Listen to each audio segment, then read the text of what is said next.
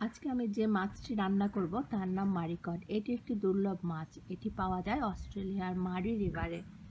এই নদীটি অস্ট্রেলিয়ার দীর্ঘতম নদী। এই নদীর দৈর্ঘ্য প্রায় দুই হাজার পাঁচশো আট কিলোমিটার। পৃথিবীর মধ্যে মারিকট মিঠা পানির সবচেয়ে বড় মাছ। এখন পর্যন্ত ম্যাক্সিমাম সাইজ পাঁচ ফিট নয় ইঞ্চি এবং এর ওজন ছিল একশো তেরো কেজি। এই মাছটি অনেক বছর পর্যন্ত বাঁচে, প্রায় পঞ্চাশ ষাট বছরের উপরে। তো চলুন চলে যাই মাছ রান্নাতে। মারিকট রান্নার জন্য আমরা নিয়েছি এক কাপ তেল, হাফ কাপ পানি, এক কাপ পেঁয়াজ, একটা টমেটো, এক চা চামচ মরিচ গুঁড়া, দুই চা চামচ হলুদ গুঁড়া, এক চা চামচ জিরা গুঁড়া, এক চা চামচ ধনিয়া গুঁড়া, দুই চা চামচ লবণ, এক টেবিল চামচ পেঁয়াজ বাটা, এক টেবিল চামচ রসুন বাটা, এক টেবিল চামচ আদা বাটা। আর আমার মারিকটটা ধুয়ে কেটে নিয়েছি। এটার ওজন প্রায় এক কেজির উপরে, এক কেজি একাত্তর গ্রাম। চলে যায় রান্নাতে। এখন এই মশলা থেকে এক চা চামচ হলুদ গুঁড়া আর এক চা চামচ লবণ নিয়ে মাছটাকে খুব ভালোভাবে মাখাবো। এই যে আমার মাছটা, হলুদ আর লবণ দিয়ে মাখানো হয়ে গেছে। এখন আমরা ভাজবো। প্যানটা আমি এক মিনিট গরম করে নিয়েছি। এখন এই প্যানের মধ্যে আমি এক কাপ তেল পুরাটা দিয়ে দিব। এবং তেলটা দুই মিনিট ধরে গরম করব। তেলটা দুই মিনিট গরম হয়ে গেছে। এখন আমি মাছগুলাকে তেলে দিয়ে দেবো এবং খুব হালকা করে ভেজে তুলে ফেলব।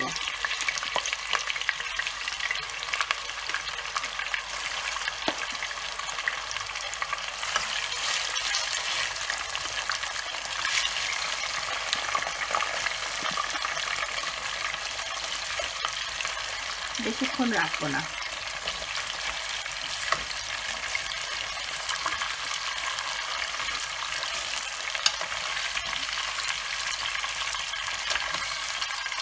একবার করে উঠিয়ে নামিয়ে ফেলব।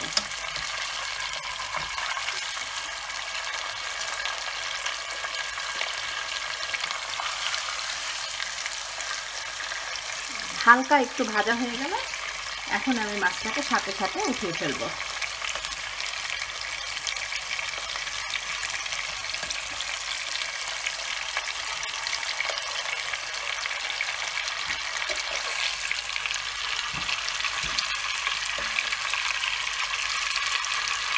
খুবই হালকা ভাজা।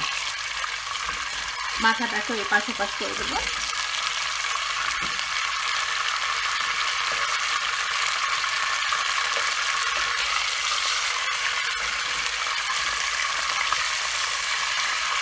এখন আমি এই গরম তেলে সব থেকে পেঁয়াজ দিয়ে দেব। এক কাপ পেঁয়াজ।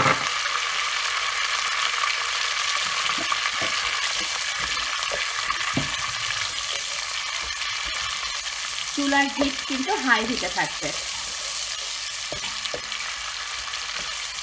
পেঁয়াজটা প্রায় এক মিনিট ধরে নাড়াচাড়া করব। ফিরে আসছি এক মিনিট পর। ফিরে আসলাম এক মিনিট পরে। এখন আমি একে একে সমস্ত মশলা দিয়ে দেবো। এক টেবিল চামচ করে আদা বাটা, রসুন বাটা, পেঁয়াজ বাটা।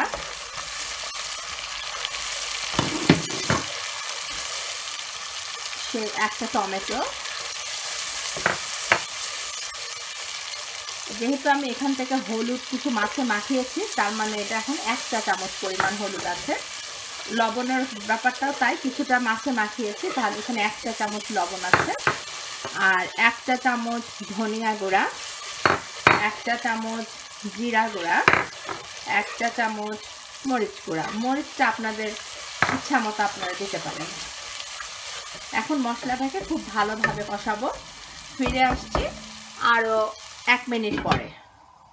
ফিরে আসলাম এক মিনিট পর। আমার মশলাগুলো কষে গেছে, তেলটা উপরে উঠে আসছে। এখন আমি মাছগুলো অ্যাড করব, তারপর পানি দিয়ে দেব। এখন মাছগুলো সুন্দর করে তেলের মধ্যে আমি দিয়ে দেব।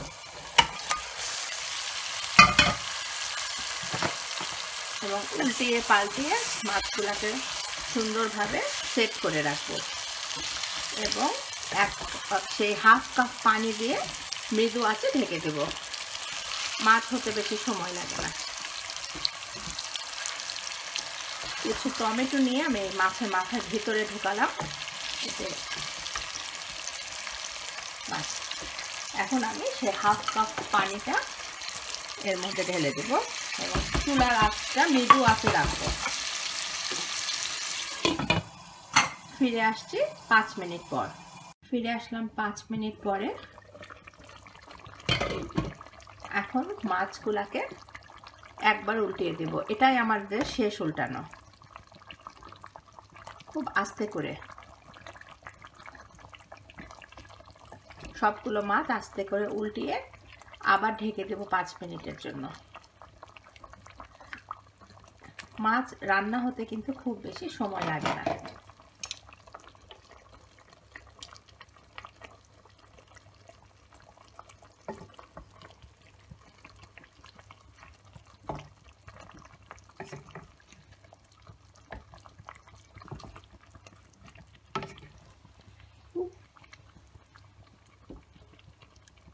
আস্তে করে সুন্দর করে মাছগুলো উল্টিয়ে দেব।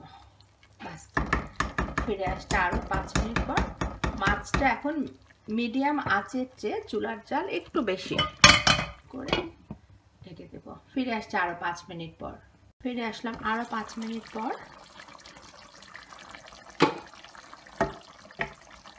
মনে হচ্ছে আমার মাছগুলো হয়ে গিয়েছে। ঝোলটাও বেশ থকথকে এখন আমি জালটা একটু হাই হিটে দেবো। হাই হিটে দিয়ে সামান্য ঝোলগুলো শুকিয়ে পরিবেশন করব। হ্যাঁ মাছটাও হয়ে গিয়েছে। আর পাঁচ মিনিট মাছটা ঢাকনি দেবো না, হাই হিটে রেখে নামিয়ে ফেলব।